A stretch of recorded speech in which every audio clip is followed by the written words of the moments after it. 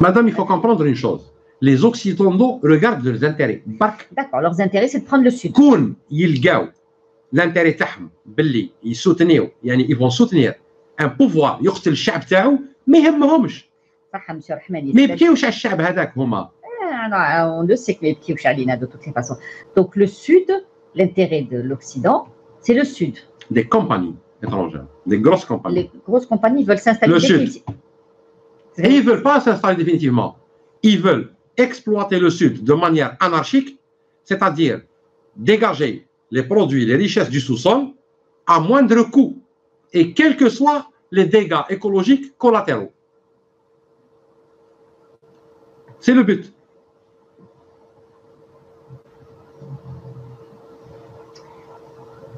كيما درك اكتويلمون في لا ليبي معمرة ارهاب بصح البترول قاعد يخرج صافي قداه يبيعوا فيه شكون يشري فيه سي لو بوت À moindre coût. Oui. سي تو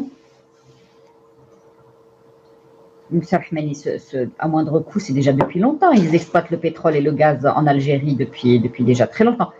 Est-ce qu'ils ont découvert d'autres gisements Est-ce qu'ils ont découvert autre chose Il y a des minerais, il y a des métaux, il y a des métaux lourds, il y a des minerais. pour les exploiter, il faut mettre des infrastructures très coûteuses et engager des investissements énormes. Mais si on veut les exploiter de manière anarchique, sans tenir compte de l'écosystème environnant, ils peuvent le faire ou C'est ce qu'ils veulent faire. C'est l'exploitation à moindre coût. C'est tout. Les gisements kainin, le pétrole, le gaz, des gisements, des minerais, des فيها بصح ناس خونه حاكمينها ناس حركة حاكمين البلاد. هذا هو اللي معطل l'Algérie et le développement d'Algérie. Parce que la seule explication اللي نقدروا نلقاوها علاش ضربوا المنظومة التربوية؟ علاش خلاو ولادنا يقراو في الجهل؟ c'est bien كي تحب تسرق شعب اعميه. كيفاه تعميه؟ من المنظومة التربوية تاعو. donc le crime est là et le mobile est là et le criminel est là الحمد لله الشعب فاق لكن لازم الشعب يتهيكل باش تولي القوة نتاعو عندها قوة سياسية باش المطلب نتاعو يتبلور سياسيا les Occidentaux, ما نلومش عليهم, tout le monde est notre ennemi. Et tout le monde est notre ami. Ça dépend se positionne. L'Occident, c'est ça.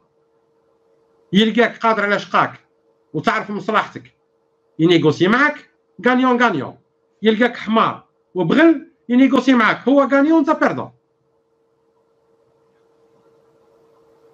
وهذه مش من اليوم من نهار بدات المعاملات بين الشعوب والقبائل واقف على شيك تيغان تغفل على شيك يديهولك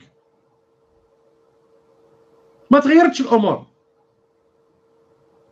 امور ما تغيرتش بكري يلقاك ضعيف يجيب العسكر ويحتلك دوكا ما عادش تحقوها يلقاك ضعيف يدخل لك زوج ثلاث شركات يستعمروك Monsieur Rahmani, pourquoi ils n'ont pas fait le, le- qui est- quand vous avez appelé au Tassaïd C'était facile de fermer les, les bases et ils auraient pu le faire et on se serait débarrassé de, de Mais ce- qui ferme C'est العمال العمال qui sont structurés dans des syndicats ما عندناش des syndicats مبيوعين للدولة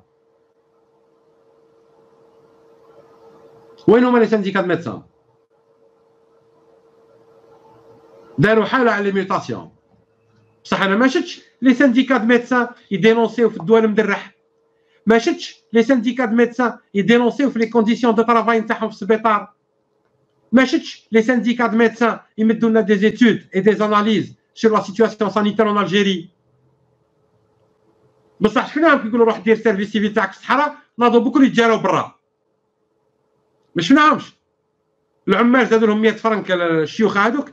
ولاو يقريو.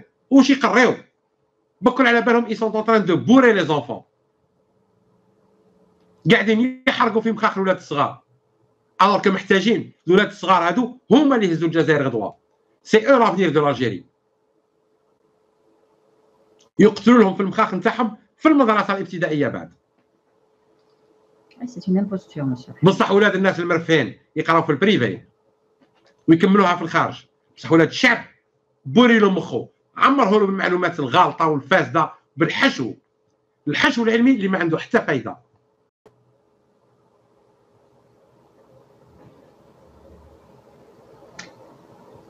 Donc, Monsieur Rahmani, il n'y a pas d'autre solution que de se structurer. Structurer et d'engager la résistance. لا كان ما حبوش يفهموا باللي كاين حلول سياسيه كما يقول الله عز وجل وإن جنحوا للسلم جنح لها فقط. بصح هذا موش خوف.